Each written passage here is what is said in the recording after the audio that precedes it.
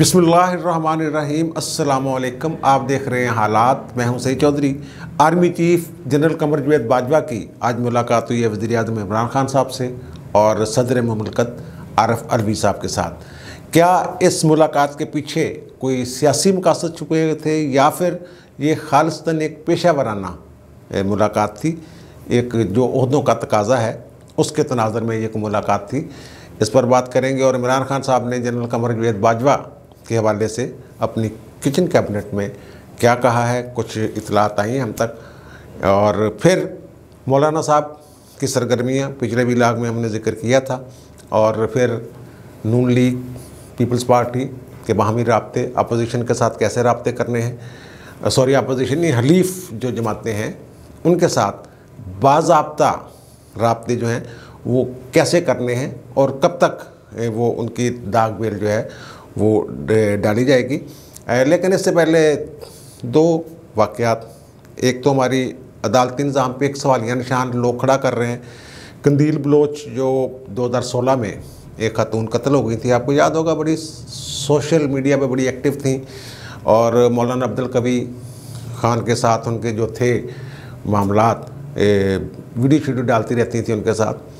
تو وہ قتل ہو گئی تھی ظاہر ہے اور پھر ان کے جو بھائی ہیں، وسیم ان کا نام تھا، وہ گرفتار ہو گئے کہ انہوں نے جناب کوئی غیرت میں آ کر قتل کر دیا یا کیا ہوا۔ آج وہ ہو گئے ہیں، رہا، بری ہو گئے ہیں۔ تو بری، اس پہ بہت سارے لوگ جو ہیں وہ سوالات کر رہے ہیں کہ جناب ہمارا جوڈیشل سسٹم دیکھیں کتنا نکمہ ہے اور فلاں کیا ہے اور ٹینگ کیا ہے۔ ایک تو یہ ہے کہ جوڈیشل سسٹم کو آپ اس طرح اس پہ الزام نہیں دے سکتے، مورد الزام نہیں ٹھہرا سکتے۔ مسٹر جسٹس سہیل ناصر صاحب نے ان کی اپیل منظور کی ہے ملزم کی اور انہیں سزائے بہت عمر قید کی سزا ہوئی تھی دو ہزار انیس میں، جس کے خلاف اپیل تھی۔ اچھا اس میں معاملہ یہ ہے کہ اس کے گواہ جو ہے نا وہ کوئی نہیں تھا۔ گواہ سارے بیٹھ گئے تھے۔ اور پھر جو ظاہر وہ بھائی تھے، تو ان کے جو ورثہ تھے کندیل بلوچ کے، انہوں نے ان کو کر دیا تھا۔ معاف شاف کر دیا تھا۔ صلح سالہ ہو گئی تھی صلح کی بنیاد دو چیزیں تھیں، نہ تو گواہ تھا کوئی۔ اور دوسری صلح سالہ بھی بیچ میں ہو گئی تھی۔ اب قانونی تقاضا یہی تھا کہ اس کو رہا کر دیا جائے، بری کر دیا جائے۔ قانون میں بہرحال ایک سکم ہے کہ ایک تو یہ کہ جو گواہان بیٹھ جاتے ہیں، ان کے خلاف کارروائی کا کوئی یہاں نہ قانون ہے، نہ کوئی رواج ہے۔ جھوٹی گواہی پہ بندے کو پکڑا جا سکتا ہے۔ لیکن اس کو اگر ہم بہت دور سے گھیر گار کر لائیں تب پھر یہ پکڑے جا سکتے تھے۔ جناب، اس وقت آپ نے یہ گواہی دی تھی، پولیس کے سامنے یہ بیان دیا یہاں آپ آ کے مکر گئے۔ وہ اور عدالتی جو جو کاروائی ہے کرمنل پروسیجر جو ہے، اس کو آپ نے جناب سب و کیا ہے۔ وہ ویسے شروع ہوتا ہے۔ ایف آئی آر درج ہونے کے بعد پولیس کی انویسٹیگیشن جو ہے نا، وہ بھی کرمنل پروسیجر میں، آ جاتی ہے۔ اس میں پکڑا جا سکتا ہے۔ اور پھر چلو، اسلام کے تحت تو ہے کہ اگر مقتول کے ورثہ معاف کر دیں تو معافی لائیں لیکن یہاں جو ہمارا تذیری قانون ہے تین سو دو، اس کے تحت بھی یہ عام طور پر اگر صلح ہو جائے تو معاف کر دیا تھا لیکن اس میں تھوڑا سا ایک کہہ لیں آپ کے، کیا آپ، یہ کتابی سی بات ہے کہ جو تذیری قانون ہے، اس میں تمام ورثہ جو ہیں نا، ان کو اگر معاف کریں گے تب اس کی سزائے موت ختم ہوگی۔ لیکن اگر اسلامی قانون کے تحت، حدود کے تحت اگر کسی کے خلاف قتل کا مقدمہ چلتا ہے، تو پھر ورثہ میں سے اگر ایک بندہ بھی معاف کر دے، تو پھر قصاص نہیں ہوگا، دیت ہوگی۔ یہ اس طرح کا قانون ہے۔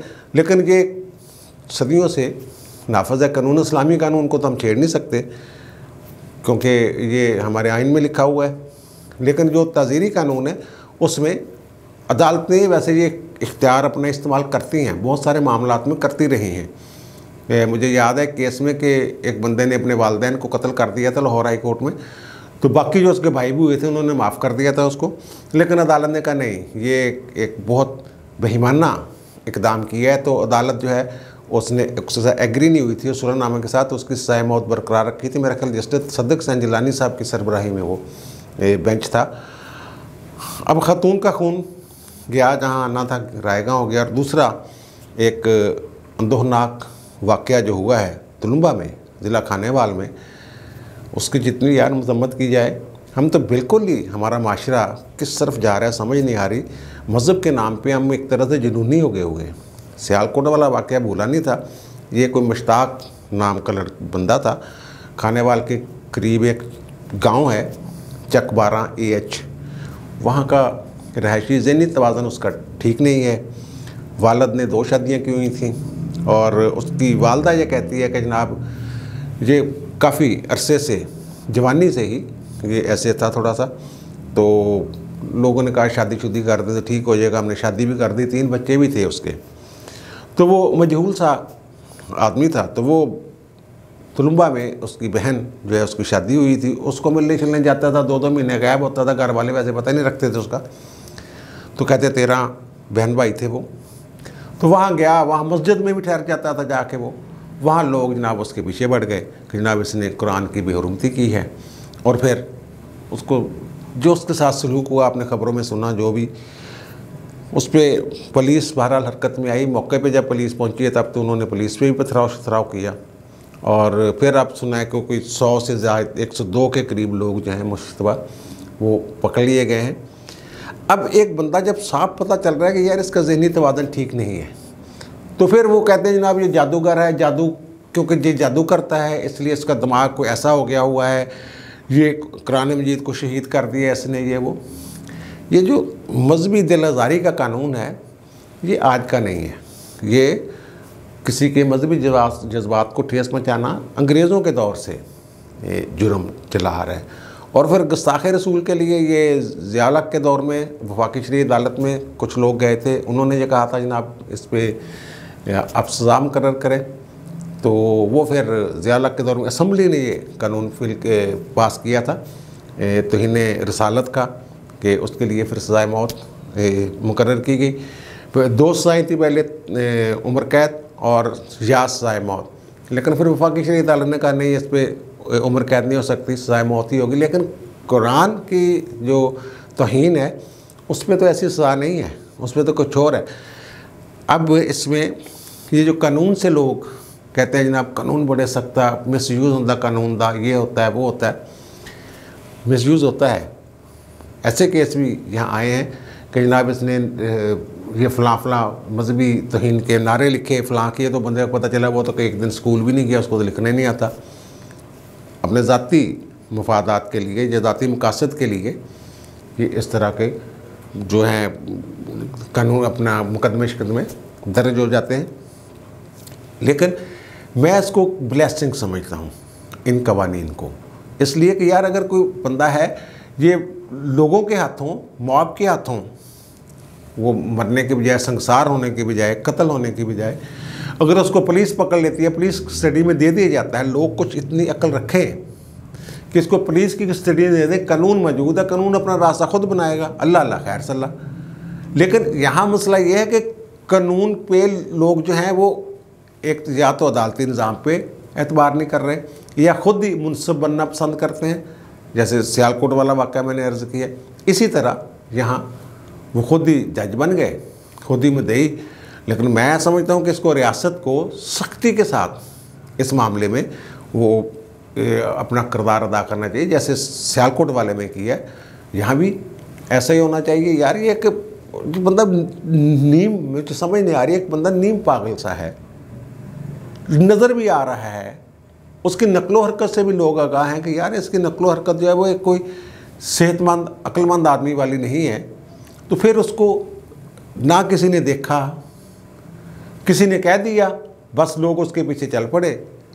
جس نے یہ آغاز کیا نا، پہلے اس کو پکڑنا، اس کو نہیں چھوڑنا چاہیے۔ جس نے یہ آغاز کیا۔ اللہ تعالیٰ اس ملک پہ، اس معاشرے پہ رحم کرے، ہم بیٹھ کے اسمبلی میں باتیں کرتے ہیں، ڈرائنگ رومز میں باتیں کر لیتے ہیں کہ جناب یہ ہو گیا، یہ ہو گیا۔ اس کی جو تربیت کرنے کے لیے، عوام کی تربیت کے لیے، قانون سے آگاہی کے لیے، بھائی قانون موجود ہے کہ نہیں، وہ مطابق پھڑ کے پلیز دے حوالے کر دو اللہ خیر صلی اللہ کے پلیز دیکھے دے تھی دیکھو دے تھی آپ ہی جج بن جاندے ہو اور انڈیا کے ہم مثالیں دیتے ہیں کہ وہاں یہ ہوا وہ ہوا ہندو متشدد ہندوؤں نے یہ کر دیا وہ کر دیا اپنے ملک میں ہم جو ایک اسلامی معاشرہ ہم کہتے ہیں جو جو ہے ہی رحم دلی پہ اور انصاف پر مبنی اس کی بنیاد ہی اس بات پہ ہے وہاں یہ کچھ کر رہے ہیں آپ خود ہی بنے ہوئے ہیں جج اللہ تعالیٰ رحم کرے دعا ہے کہ سب بہتر ہو جائے اور دوسری بات تمام جماعتیں متحرک ایک دوسرے کے ساتھ رابطے۔ اور اطلاع یہ ہے کہ جناب شہباز شریف صاحب اور زرداری صاحب، وہ لمحہ بلمحہ رپورٹس ایک دوسرے کے ساتھ شیئر کر رہے ہیں۔ مولانا صاحب کو بھی اگاہ رکھ رہے ہیں۔ شہباز شریف صاحب اور زرداری صاحب کی طبیعت سنا ہے کچھ ناساز ہو گئی ہے۔ ان کی کچھ ملاقاتیں جو تھیں وہ طے، وہ تھوڑی سی ڈسٹرب ہو گئی ہیں، آگے پیچھے ہو گئی ہیں۔ لیکن وہ ظاہر ہے وہ ایک مضبوط اصاب کے آدمی ہیں۔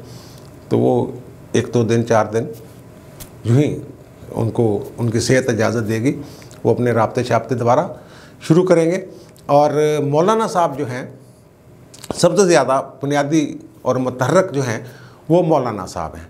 اور وہ جو باتیں ہو رہی ہیں نا کہ فلاں ملا اور فلاں ملا فلاں ملا، یہ سارے راستے ہموار کرنے کے لیے، ابتدائی طور پر، ذہنی طور پر تیار کرنے کے لیے بہت ساری باتیں جو جب یہ معاملہ طے ہو جائیں گے نا انفرادی ملاقاتوں میں، یہ مرض کر رہا ہوں۔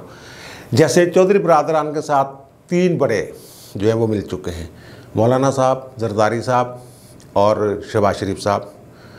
یہ انفرادی ملاقاتوں میں جو چیزیں طے ہوتی ہیں، آگے بڑھ رہی ہیں، پھر ان کو جو حتمی اور اعلانیہ جج اس کا اعلان کیا جائے گا، وہ ایک کمیٹی جو ہے، وہ ایک وفد جو ہے وہ جائے گا، وہ وفد تیار کیے جا رہے ہیں۔ مختلف شاد کا گانا باتی صاحب لگے ہوئے ہیں اور پی ڈی ایم کے جماعتوں میں جتنی بھی پی ڈی ایم میں جتنی بھی شامل جماعتیں ہیں، ان کے تمام کے جو نمائندگی اس وفد میں ہوگی، یہ پتہ چلا ہے۔ اور پھر پچھلے بھی لاگ میں میں نے ذکر کیا تھا مولانا کے رابطے ہوئے ہیں جہانگیر ترین صاحب سے ملتان میں۔ تو رابطے ہوئے ہیں بیک ڈور، یہ رابطے ہوئے ہیں، یہ میں تھوڑی سی تصحیح کر دوں۔ اور میں نے یہ کہا تھا جی جناب یہ افواہیں ملاقات کی، لیکن میں نے رابطوں کی بات کی تھی پچھلے بھی لاگ میں۔ اب یہ کنفرم پکی خبر یہ ہے کہ مولانا صاحب کی اور جہانگیر ترین صاحب کی کوئی ملاقات ابھی تک نہیں ہوئی۔ بیک ڈور رابطے انڈائریکٹ یعنی اس کے بندوں کے ساتھ رابطے اور ان کے، میں نے کہا تھا پی ٹی آئی کے جہانگیر ترین گروپ کے بندوں کے ساتھ۔ اور ظاہر ملتان میں جہانگیر ترین سے رابطہ، لیکن وہ ملاقات نہیں تھی۔ ملاقات نہیں ہوئی مولانا صاحب کی ابھی تک۔ اور یہ بہرحال طے کیا جا رہا ہے کہ مولانا صاحب اور ان کی ملاقات ہوگی۔ اور پھر پہلے جہانگیر ترین گروپ کا ایک اسی ہفتے اجلاس متوقع ہے جہانگیر ترین صاحب اپنے لوگوں کو اعتماد میں لیں گے۔ پیغام شیغام مل گئے انہیں۔ انڈائریکٹ زرداری صاحب کی طرف سے بھی پیپلز پارٹی کے کچھ لوگ جو ان کے ساتھ رشتہ داریوں میں ہیں، وہ ان کے ساتھ رابطے روبتے کر رہے ہیں۔ اور جہانگیر ترین صاحب جو ہیں وہ خوش ہو جائے اس بات پہ کہ تاہجات نہلی والا جو معاملہ ہے، یہ خبر دے رہا ہوں میں آپ کو، یہ میری ابھی سپریم کورٹ بار ایسوسیشن کے صدر محمد احسن بھون صاحب سے بات ہوئی ہے۔ تو وہ میں نے کہا کہ جناب تسی تو چپ کر کے بیٹھ گئے ہو تاہجات نہلی دے خلاف تسی سپریم کورٹ گئے، سپریم کورٹ نے اعتراض لا کے پٹیشن واپس کرتی اور تسی وہ دے خلاف کوئی اپیل شپیل ہی نہیں کی وہ ان اعتراضات کے خلاف ایک اپیل کرنا ہوتی ہے۔ درخواست دینا ہوتی ہے سپریم کورٹ کو، جناب اس کو پھر وہ سنگل بینچ یا چیمبر میں ایک جج کی ڈیوٹی لگا دی جاتی ہے، وہ اس کو سنتے ہیں۔ اس کے بعد یا تو رجسٹرار آفس کے اعتراض کو برقرار رکھتے ہیں یا ختم کر دیتے ہیں اور اس کو ہدایت کر دیتے ہیں کہ اس کو عدالت میں سماعت کے لیے پیش کر دیا جائے۔ آپ کو یاد ہوگا، بہت سال پہلے جب یہ معاملہ شروع ہوا تھا، تو میں نے ہی یہ بتایا تھا کس طرح تاہیات نہلی والا معاملہ جو ہے اس کی تشریح کے لیے ان کے article sixty two one F کی تشریح کے لیے معاملہ سپریم کورٹ بار ایسوسیشن لے کے جا رہی ہے۔ وہاں سپریم کورٹ میں کہ اس کی تشریح کر دیں فل کورٹ اور وہ میں نے یہ کہا تھا، سب جو پہلی ابتدائی چیز جو ہے، جو مشکل پیش آئے گی، میں نے عرض کیا تھا کہ وہ اس کو ایڈمٹ کرنا، قابل سماعت کرنا یا ڈکلیئر کرنا عدالت کی طرف سے، اور اس پہ پھر لارجر بینچ بننا یا فل کورٹ بننا، یہ اگر مارا حل طے ہو جاتے ہیں تو معاملات آگے جا کے میں نے کہا تھا اوکے کی رپورٹیں ہیں اور ہنڈریڈ پرسینٹ کی کچھ اس طرح کی اطلاعات ہیں کہ جناب پھر وہ ان کا کیس وہ اب ایس این مون صاحب نے کہا کہ جناب نہیں نہیں، ہم بیٹھے نہیں ہیں۔ ہم نے جو اعتراضات ہیں ان کے خلاف درخواست جو ہے وہ تیار کر لیے، تقریباً تیار کر لیے۔ وہ کہ ستائیس فروری اس کی وہ آخری دن ہے اور ستائیس فروری سے پہلے پہلے ہم نے وہ پٹیشن جو ہے وہ اعتراضات کے خلاف وہ دائر کرنی ہے اور وہ کہتے ہیں جناب وہ ہم کرنے جا رہے ہیں اور ستائیس سے پہلے پہلے وہ ہو جائے گی اگر وہ اس کی پھر سماعت شروع ہو جاتی ہے تو جہانگیر ترین صاحب کو بھی فائدہ ہوگا، نواز شریف صاحب کو بھی فائدہ ہوگا، فیصل واڈے کو بھی تاحیات ناہلی ختم ہو سکتی ہے۔ اس کے ذریعے وہ کہتے ہیں جی کنو آئین میں تو نہیں تاحیات لکھا ہوا آئین میں تو کہا ناہل ہوگا۔ صادق اور امین۔ اور انہوں نے کہا جو پہلے تشریح کی ہے سپریم کورٹ نے، وہ بنیادی آئینی حقوق سے متصادم ہے۔ اس کی تشریح کی جائے دیگر جو بنیادی آئینی حقوق ہیں ان کے ان کے تناظر میں ان کو مد نظر رکھ کر اس کی تشریح کی جائے۔ Article sixty two one F جو کہتے ہیں جو بندہ سادہ قرمی نہ ہو اور کوئی عدالت نے کسی نے ڈکلیئر کرنا ہو کر دیا ہو کہ یہ سادہ قرمی نہیں ہے، تو پھر وہ اس کا وہ نحل ہوگا اسمبلی کے لیے، اسمبلی پارلیمنٹ کے لیے، قومی سوائی اسمبلیوں کے لیے۔ وہ اہل نہیں ہوگا ممبر بننے کا۔ اب وہ بات کہ جناب army chief general Qamar Javed Bajwa صاحب کی ملاقات ہوئی ہے صدر مملکت سے۔ اور وزیر اعظم سے اس پر بھی بات کریں گے، لیکن پہلے تھوڑی سی بات کہ وزیر اعظم صاحب نے آج سارا وہ سینٹرل ایگزیکٹو کمیٹی کا ان کا اپنا اجلاس تھا اور پھر ترجمانوں کے ساتھ ان کی گپ شپ۔ ان کا یار ذاتیات کی بات جو کرتا ہے، یہ بڑا غلط ہے۔ ذاتیات کو بیچ میں نہ لے کے آیا کریں۔ ذاتوں پہ، خان صاحب کو اب یہ سمجھ آئی پہلے نہیں آئی۔ جب بشرا بیگم کے حوالے سے، ان کی ناراضگی کے حوالے سے غصے ہو کے گھر آ جانے والی باتوں پہ جب لوگوں نے وی لاک کیے، سوشل میڈیا پہ شور مچا، تب خان صاحب کو سمجھ آئی کہ جناب جب تپش اپنی ذات کو پہنچتی ہے، تپش یا گھر تک آگ پہنچ جاتی ہے، پھر خیال آتا کہ یار یہ تو میں بھی ایسے کرتا رہا ہوں۔ انہوں نے مریم نواز کے والے سے کیا نہیں کہا۔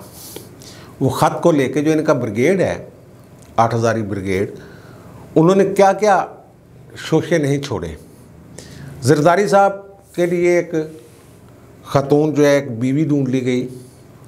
سینتھیا رچی نے پتہ نہیں کیا کیا، پتہ نہیں کیا نام ہے اس کو، اب انہوں نے پتہ نہیں کچھ کوئی نوکری شوکری بھی دے دی ہوئی ہے۔ سنتھیا رچی ہے یا شاید ان کا نام کیا نام ہے۔ تو اس کو وہ خاتون جو گوری ہے، یار، ٹھیک نہیں؟ تو اب ان کو سمجھ آئیے کہ نہیں نہیں، یار، اس طرح نے گلا نہیں کری دیا۔ لیکن انہوں نے باز نہیں آنا۔ ان کے منہ میں جو آتا ہے نا، یہ ان کو وہ کہنا، وہ اس کو فخر محسوس کرتے ہیں۔ ابھی مولانا صاحب کو ڈیزل ڈیزل کہتے تھے، اب وہ بند ہو گیا کہنا، وہ اس لیے بند ہو گیا کہ جناب وہ مولانا صاحب بڑے اگریسو ہو گئے تھے اس معاملے پہ۔ انہوں نے بھی کچھ باتیں یہودی ایجنٹ اور پتہ نہیں کیا کہنا شروع کر دیا۔ تو اب انہوں نے کہا کہ چلو یار انہوں تھوڑی جی مٹی مٹی پاؤ اور پھر دیکھیں گے کسی ویلے جو موقع ملے گا، کوئی نہ کوئی گل کر دیں گے۔ اچھا اب جو وزیر اعظم سے ملاقات ہوئی ہے آرمی چیف کی، اطلاع یہ ہے کہ وزیر اعظم صاحب کے جو کچن کیبنٹ ہے نا، چار پانچ بندے قریبی، تو انہوں نے یہ کہا خان صاحب سے کہ خان صاحب، اگر کام، وہ واقعتاً ایسی خبریں آ رہی ہیں جو کہا جا رہا ہے کہ جناب ایک تو پیج ایک نہیں ہے اور دوسرا یہ کہ وہ انہوں نے کہا ہے باپ والوں کو، بلوچستان عوامی پارٹی والوں کو وہاں سے ان کے منہ سے یہ بات نکل گئی ہے، اوپن ہو گئی ہے یہ بات، انہوں نے کہا جناب، اپنی لڑائی آپ لڑو، اسی بچ نہیں ہونا اسی سیاست سے مداخلت نہیں کرنی۔ تو کتے واقعتاً کوئی ساڈا جڑے پٹے نے چک دینے تو انہوں نے وہاں جو بات کی ہے انہوں نے کہا جناب وہ آرمی چیف جو ہے نا ان سے بات کریں آپ آرمی چیف سے یہ کہا کہ ان سے بات کریں دو ٹوک آپ تو بھائی دو ٹوک بات کر لیتے ہوتے ہیں خان صاحب سے کہا گیا آپ تو اس طرح کرتے ہی کسی تو نہیں ان کے نہیں یار وہ اب ہمارے کام کے نہیں رہے یہ بات انہوں نے کی ہے کہ وہ اب ہمارے کام کے نہیں رہے یا یہ کہہ لیں کہ انہوں نے اس کو دوسرے طرح کے وہ ہماری ضرورت پوری نہیں کر سکتے۔ یہ کوئی بات اس طرح کی سننے میں آئی ہے۔ اور پھر بھی یہ بھی ایک بات سننے میں آئی ہے، شنید ہے کہ ملاقات پہلے سے طے تھی، لیکن جو ملاقات میں ظاہر ہے وہ ان کا باتیں شیڈول ہوتا ہے اور آف دی ریکارڈ تو یہ کہا گیا کہ جو میٹنگ کا ایجنڈا ہے، صرف اس تک محدود رہیں گے۔ راول پنڈی والوں سے کی طرف سے یہ ایک میسج کنوے کیا گیا کہ ان ملاقاتوں میں جو ایجنڈا ہے، سرکاری افیشیل ایجنڈا ہے، وہاں تک محدود رہا جائے۔ اور افیشیل ایجنڈا وہی تھا کہ مسلح افواج کے جو کام ہے اور انہوں نے جو خیبر پختونخوا میں جو آپریشنس ہیں ان میں وہ جو شہدہ ہیں فوجی اور پھر بلوچستان میں جو حساس اداروں کے لوگ شہید ہوئے ہیں۔ اس حوالے سے یہ صرف ان کی جو کہہ لیں کہ دلجوئی اور سیکورٹی معاملات، وہاں تک یہ محدود رہا، وہاں کوئی سیاسی بات ہوئی نہیں۔ خان صاحب نے کہا، جناب، یہ ہمارے کام کے نہیں اور راول پنڈی نے یہ کہا کہ صرف افیشیل ایجنڈے تک ہم رہیں گے۔ صدر مملکت اگرچہ سپریم کمانڈر ہوتے ہیں ان کی بات جو ہے وہ اس کو بڑا احترام دیا جاتا ہے فوج میں، پروٹوکول میں نمبر ون ہوتے ہیں۔ وہاں بھی حالانکہ عارف الوی صاحب کا دل تھا کہ گل نو تھوڑے جی چھیڑیے، کسی پاس سے جائیے، لیکن بتا دیا گیا کہ نہیں، جو افیشیل ایجنڈا ہے، جو سرکاری ایجنڈا طے ہے ان میٹنگس کا ایجنڈا اس سے ادھر ادھر نہیں ہونا ہم نے۔ اب اس سے آپ خود اندازہ لگا لیں کہ خان صاحب کہہ رہے ہیں کہ ہمارے کام کے نہیں رہے۔ اس کا کیا مطلب ہے؟ اور وہ کہتے ہیں ہم نے افیشیل ایجنڈے تک رہنا ہے، کوئی پرائیویٹ بات نہیں کرنی۔ اس کا کیا مطلب ہے؟